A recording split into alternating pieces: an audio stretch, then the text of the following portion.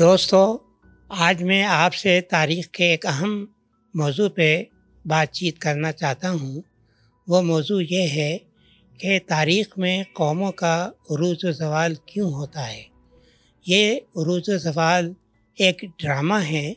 जब आप इस उरूज ज़वाल की तारीख़ को पढ़ते हैं तो जब कौमें अपने उरूज पर पहुँचती हैं तो आपको एक खुशी महसूस होती है कि कौमों की अपनी तोानाई है, उनकी अपनी क़वत है, उनकी अपनी तख्लीक़ी सलाहियतें हैं कि जिसकी वजह से बराबर वो आगे की जानब तरक्की कर रहे हैं।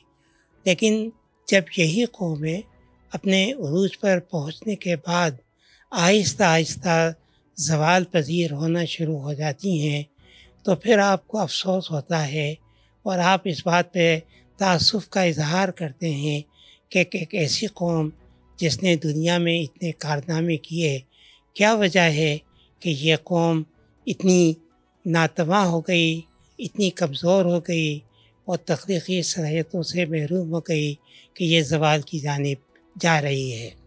इस मौजू के ऊपर तीन मौरखीन ने अपने ख़्याल का इजहार किया है। वैसे तो और भी मौरखीन हैं, लेकिन यहाँ मैं तीन का ज़िक्र करना चाहूँगा। उनमें से एक इबन खलदून है।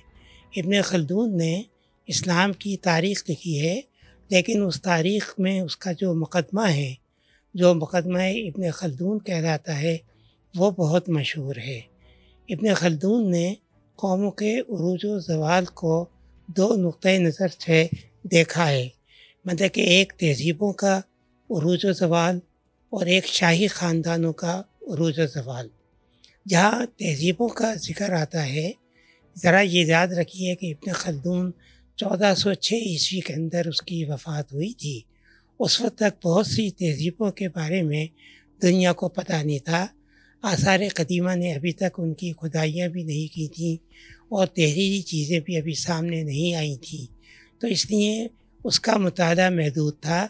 उसने बहरहाल तहजीब के बारे में ये कहा है कि तहजीब इंसानी ज़िंदगी की तरह उन्हीं मराहल से गुज़रती है, जिनमें कि इंसान की ज़िंदगी गुज़रती है।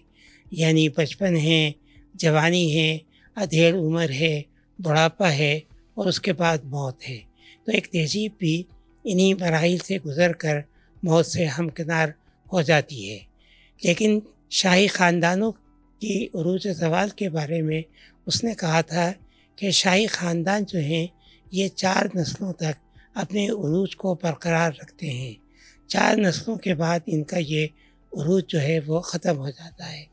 उनमें से पहला बादशाह जो है वो बानी सल्तनत होता है, जो सल्तनत की बुनियाद रखता है।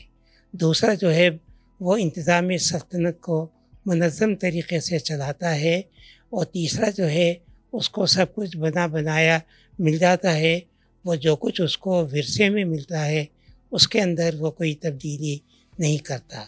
और चौथा आते आते बिल्कुल एक तरह से तकलीद करता है, जो कुछ भी उसको विरसे में मिला है। नतीजा उसका ये है कि चौथे के बाद मतलब के जवाल पजीर ख़ानदान हो जाता है। इसको अगर आप मुग़ल ख़ानदान के ऊपर देखें तो आप ये कहें, समझें कि अकबर बादशाह जो था, वो मुग़ल ख़ानदान का बानी था। बाबर तो जल्दी यहाँ से चला भी गया था। अकबर असल में बानी था। अकबर के बाद शाहजहाँ और उसके बाद औरंगज़ेब आए। तो औरंगज़ेब के बाद मुग़ल सल्तनत जो है, वो जवाल पजीर होती चली गई। तो वो चार हुक्मरान जो हैं, वहाँ उन तक सवाल रहा, उसके बाद जवाल पजीर हो गए। तो ये इब्न खलदून का नज़रिया है। लेकिन एक तरह से फ़िक्र के लिहाज से और फ़लसफ़े के लिहाज से जिसने अरूज जवाल के ऊपर तन को को देखा है वो जर्मन फ़लसफ़ी ऑसफल स्पेंगलर है। इसकी मशहूर किताब है जवाल मगरब या decline of the west.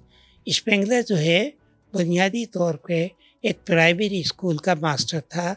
ये वहाँ पढ़ाता था। पढ़ाते हुए इसको ख्याल आया कि जवाल मगरब के ऊपर किताब लिखे। चुनाचे मुलाजमत छोड़ के इसको थोड़ा बहुत कोई विरसे में पैसा मिल गया था तो इसने उस पर कनात की और कनात करते हुए इसने ये किताब लिखी।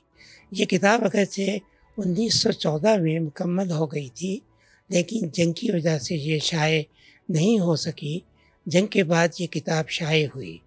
इस किताब में उसने दुनिया की आठ बड़ी तहजीबें जो हैं, उनका जायज़ा लिया है और वह हर तहजीब की इब्तदा से लेकर और उसकी मौत तक या उसके ख़ात्मे तक की मद्दत जो है, एक हज़ार साल करार देता है। इन आठ तहजीबों में जो अहम तहजीबें हैं, वो जैसे मसीहत है, इस्लाम है, बुद्धमत है, चीनी सिविलाइजेशन है, ऑर्थोडॉक्स क्रिश्चियनिटी है, ये इस ये आठ सिविलाइजेशन बनती हैं, इनका उसने जायज़ा जायज़ा लिया है अपनी किताब के अंदर। अच्छा उसने इन तहजीबों को मौसमों के लिहाज से तकसीम किया है। उसका कहना है कि हर तहजीब की अपनी इब्तदा होती है। उस इब्तदाई दौर के अंदर मतलब कि तहजीब अपने ख़द खाल बनाती है, अपने नज़रियात को तश्कील देती है, लेकिन उसके बाद आता है मौसम गर्मा। और मौसम गर्मा के अंदर तहजीब के नज़रियात, तहजीब के अफकार, तहजीब के ख्याल जो हैं वो पुख्तगी तक पहुँचते हैं और उनके अंदर एक नई तोानाई के साथ वो उभर के आते हैं। और गर्मा के बाद फिर बाहर का मौसम आता है तो बाहर का मौसम के अंदर तहजीब अपने पूरे उरूज के ऊपर पहुँच जाती है। उसके ख्याल व अफकार जो हैं, बिल्कुल उसमें नई तख्लीकी क़वत और सलाहियत जो है वो पैदा हो जाती है। और मौसम बहार के बाद फिर ख़ज़ा का ज़माना आता है। ख़ज़ा के ज़माने के अंदर फिर तहजीब आहिस्ता आहिस्ता जवाल पजीर हो जाती है। अच्छा मगरबी तहजीब के बारे में उसका कहना यह है कि मगरबी तहजीब का उरूज जो है, वो मगरब का फ्यूडल पीरियड जो है वो इसकी तहजीब का उरूज का ज़माना था यानी फ्यूडलिज्म का ज़माना या जिसको हम कहें अहद वस्ती का ज़माना क्योंकि उसका कहना था कि इस ज़माने में रियासत दानश्वरों की सरपरस्ती करती थी मौसीकारों की अदब की आर्ट की इनकी और उस ज़माने में जो अदब आर्ट मौसीकी पैदा हुए हैं उनके अंदर बड़ी गहराई है उसके अंदर तख्लीकी सलाहियतों का पूरी तरह से इजहार होता है।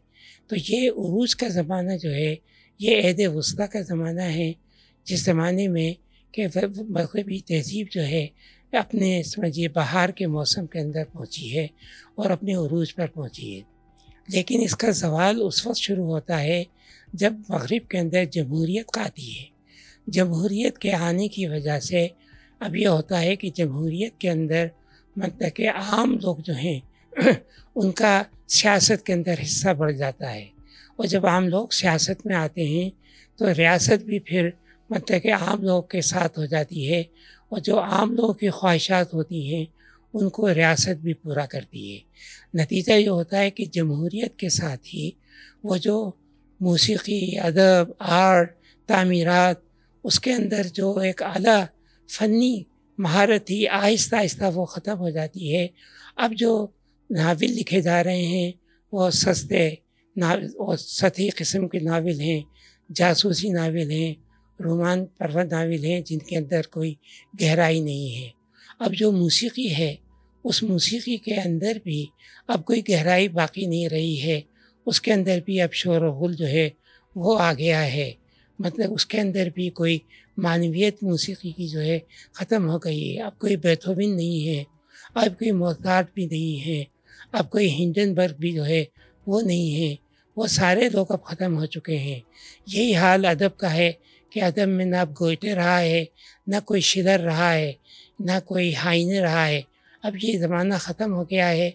अब जो लोग हैं, वो इंतहाई बेमानी और सस्ते किस्म की चीज़ें लिख रहे हैं और वही आवाम के अंदर मकबूल हो रही हैं वो चीज़ें।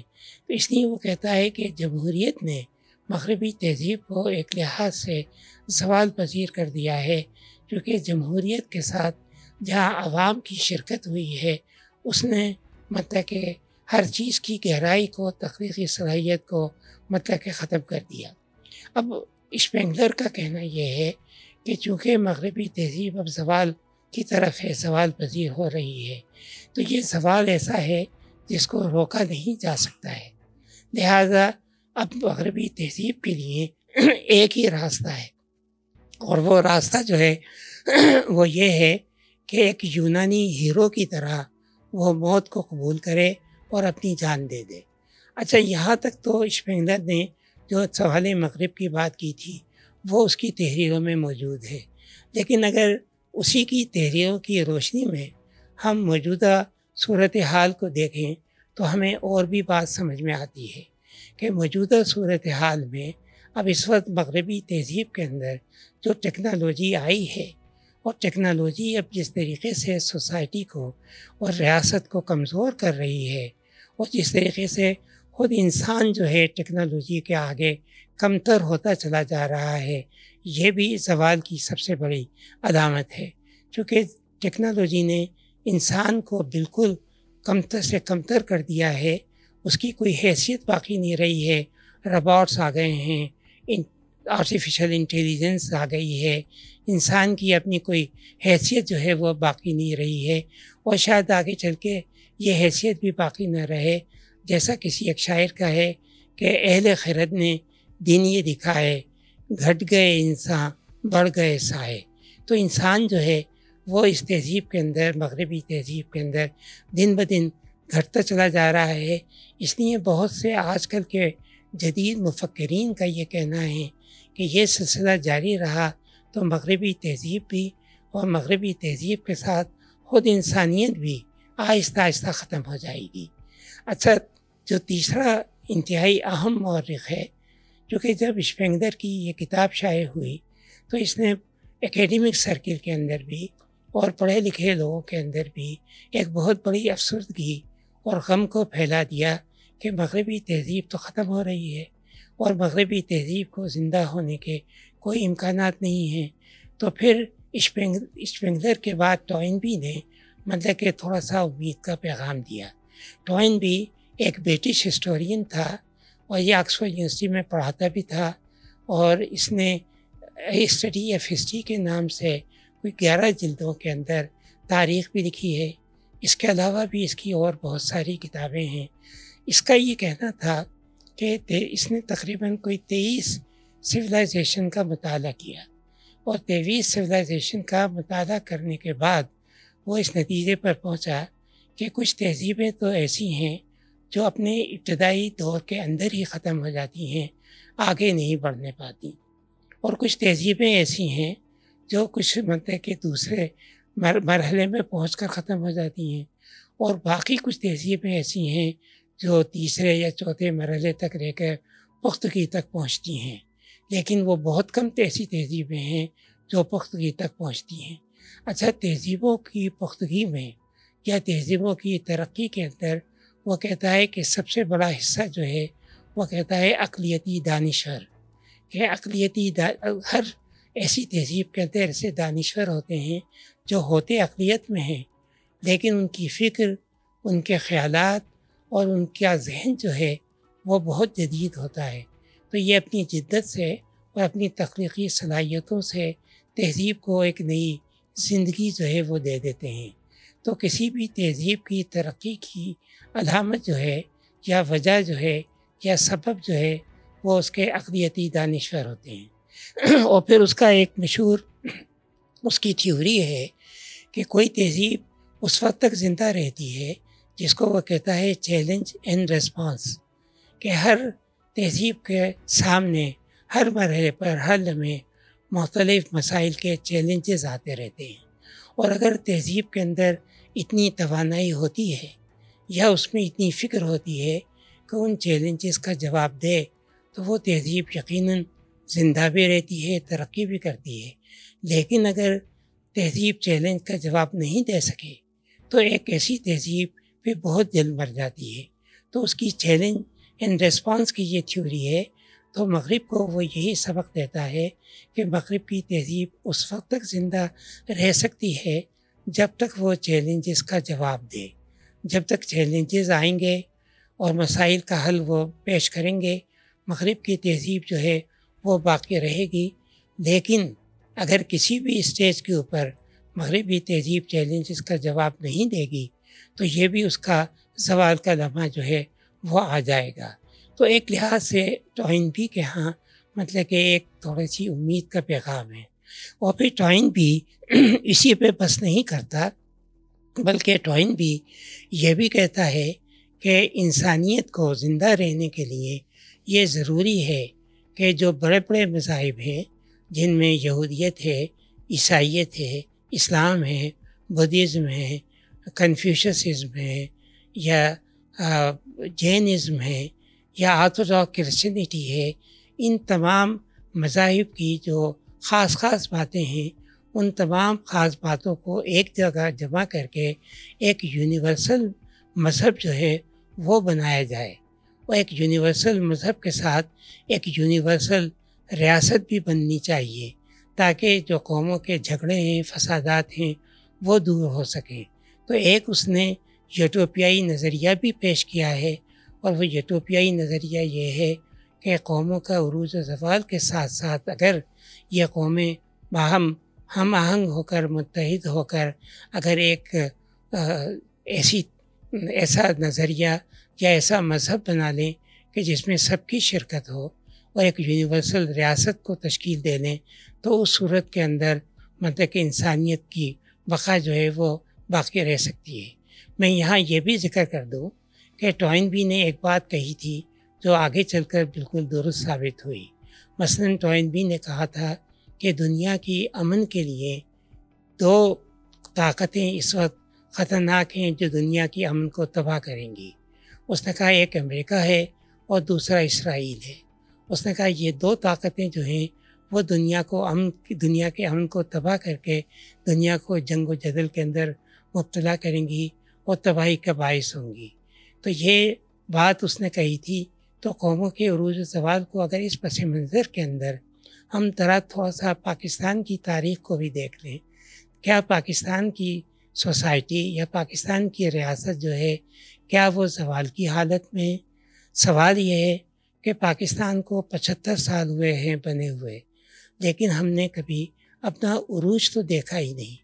यानी कोई ऐसा वक्त नहीं है, कोई ऐसी स्टेज नहीं है, कोई ऐसा मरहला नहीं है कि जिसको हम कहें कि ये पाकिस्तान के उरूज का मसला है मरहला है कि जिसमें पाकिस्तान ने एक अलग लिटरेचर भी पैदा किया मूसीकी भी पैदा की आर्ट भी पैदा किया, तामीरात के अंदर भी उनका मतलब कि कोई कंट्रीब्यूशन है तो हमें कोई उरूज का तो कोई मिलता नहीं है। लेकिन ये ज़रूर है कि सैंतालीस के बाद से हम इस मुल्क में अपनी सोसाइटी को भी और अपनी रियासत को भी आहिस्ता आहिस्ता हम जवाल पजीर होते देख रहे हैं। अब ये जवाल पजीर क्यों हो रही है कि अंग्रेज़ों के ज़माने के जो इदारे थे, वो इदारे पाकिस्तान बनने के पाँच छः साल तक तो बाकी रहे, काम करते रहे लेकिन उसके बाद वो इदारे भी अपनी अहमियत खो बैठे। उसकी वजह जो है, सबसे बड़ी वजह जो है, वो ये है कि हमारे हुक्मरान जो हैं, वो नाअहल हैं। उनमें हुक्मरानी करने का कोई तजर्बा नहीं है। और सबसे बड़ी बात यह है कि हमारी सोसाइटी के अंदर अशराफिया और आवाम के दरमियान बहुत बड़ा फ़र्क पैदा हो गया है। अशराफिया आवाम के मसाइल को बिल्कुल नहीं समझती है। और ना उसके ऊपर तवज्जो देती है। नतीजा उसका यह है कि इन दोनों क़वतों में, यानी अशराफिया में और आवाम के अंदर कोई बाहम हम आहंगी भी नहीं है कि वो मिलकर इस सोसाइटी को बेहतर बनाएँ या इस मुल्क की इसलाह करें, इस मुल्क की तरक्की के लिए काम करें। तो ये एक बहुत बड़ा मसला हमारे यहाँ सोसाइटी के अंदर हो गया है, जिसकी वजह से ये जवाल पजीर हो रही है। क्या इस जवाल को रोका जा सकता है? तो देखें, जवाल को रोके जाने की एक सबसे बड़ी मिसाल जो मौजूदा दौर में हमारे सामने है, वो चीन की मिसाल है। चीन की तहजीब भी अपने मराहल के बाद एक ज़माने में ख़त्म हो गई थी और चीन भी तहजीब के ख़त्म होने के बाद इंतहाई इंतशार की हालत में था। यहाँ तक कि मगरबी अकवाम ने उस पर हमले कर दिए थे। अफीमी उनको बना दिया था, उनकी दौलत पर कब्ज़ा कर लिया था उनकी जो मुल्क मुल्क के ऊपर कब्ज़े कर लिए थे। तो चीन को एक तरह से बिल्कुल उन्होंने निहत्ता करके और बिल्कुल एक तरह से अपना गुलाम बना लिया था। लेकिन फिर चीन के अंदर तब्दीली आई है। जैसा एक मौरख ने कहा है, चीन का जवाल और उरूज, दुनिया की ये वाद कौम है, जो जवाल के बाद फिर दोबारा उरूज पर आई है। वरना ना रोमन्स का उरूज हुआ है दोबारा जवाल के बाद। ना ही अरबों का जवाल के बाद उरूज हुआ है, ना ही ईरानियों का जवाल के बाद कोई उरूज हुआ है, ना ही मतलब कि और यूनान की देखें जवाल के बाद उरूज हुआ है। चीन सिर्फ़ एक ऐसा मुल्क है, एक ऐसी सोसाइटी है कि जो जवाल के बाद उरूज पे आई है। ये उरूज किस लिए हुआ है कि उन्होंने अपने पुराने फरसुदा नज़रियात, इदारों को ख़त्म करके अपनी बुनियाद नए नज़रिए नए इदारे के ऊपर डाली और उस नए इदारे के तहत अपने मुल्क के अंदर तब्दीली लेकर आए। जब तक आप पुराने इदारों को, रिवायात को ख़त्म नहीं करेंगे तो नए जो ख्याल हैं, नए अफकार हैं, उनके लिए कोई जगह नहीं होगी। इसलिए तरक्की के लिए ज़रूरी होता है कि जो माजी का बोझ आप लिए हुए हैं, माजी के बोझ से आप छुटकारा पाएँ। माजी के बोझ से छुटकारा पाने के बाद ही आप आगे की जानब चल सकते हैं। यहाँ आपको ये एक मिसाल और दे दूँ। माजी के बोझ से छुटकारा पाने की वो वियतनाम की है कि वियतनाम पे आप देखें, अमेरिकनों ने मतलब कि कितनी बम्पार्टमेंट किया, कितनी तबाही की, क्या कुछ नहीं किया।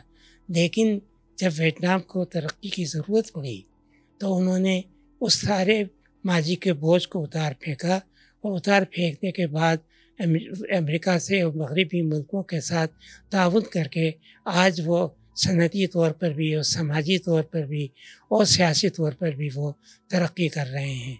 तो ये मेरा एक पैगाम है कि हमने अपने सरों पे जो माजी के बोझ को लाद रखा है, इस माजी के बोझ को हम जब तक नहीं उतारेंगे, जब तक पुरानी रिवायात से छुटकारा नहीं पाएँगे, उस वक्त तक हम आगे की जानब नहीं बढ़ सकेंगे। और हमारा माशरा इसी तरीके से जवाल की जानब जाता रहेगा और इसके ज़िंदा होने की कोई सूरत हमें नज़र नहीं आएगी। बहुत बहुत शुक्रिया।